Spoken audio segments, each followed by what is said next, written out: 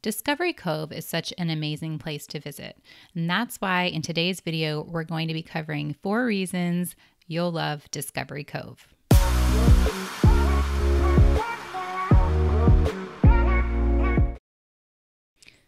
The first thing that you'll love is that with your cost of admission, all of your food and drinks are included.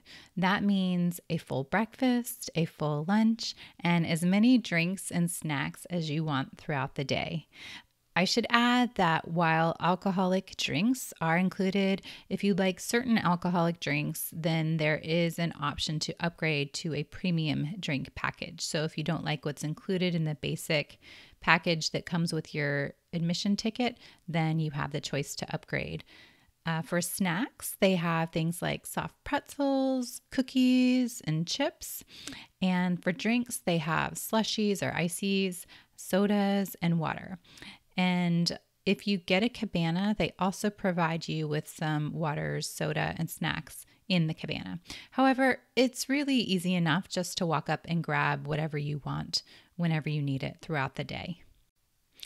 If you're used to theme parks in Orlando that are crowded, then you are in for a real treat. Reason number two is that they limit capacity. Discovery Cove caps visitors at 1,300 people, so it never feels crowded and you're not left standing there in long lines all day. To put that in perspective, Disney allows up to 90,000 people in a day at Magic Kingdom. Now, to be fair, we're not comparing apples to apples here because Magic Kingdom is 142 acres and Discovery Cove is only about 35 acres. But even though Discovery Cove is a quarter of the size, it's letting in such a small fraction of the amount of people as they do at Magic Kingdom.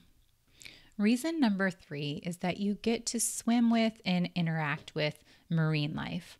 While, of course, it's fun to see dolphins in the wild, it's not always guaranteed if, say, you're chartering a boat or something. But at Discovery Cove, you can upgrade your ticket to include a dolphin swim. Now, this allows you to get in the water with the dolphins, to touch them, and even to get pulled by one. So it kind of feels like you're swimming right alongside them.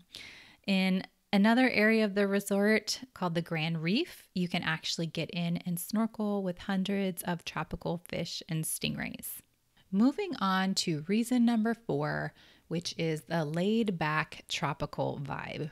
The Orlando area is usually really hot and full of traffic and tourists you forget about all of that when you spend a day at Discovery Cove because it really feels like you're visiting a tropical island. It is such a unique experience, and I don't think I've really encountered anything quite like it. I would love to know if you have heard of Discovery Cove or even if you've been there, and if you have, what you love about it. So please take a moment to drop that in the comment section and share your thoughts. If you'd like to see what a day at Discovery Cove is like, or take a tour of the room that we stayed in while visiting the area, I'll make sure to link those videos for you in the description below.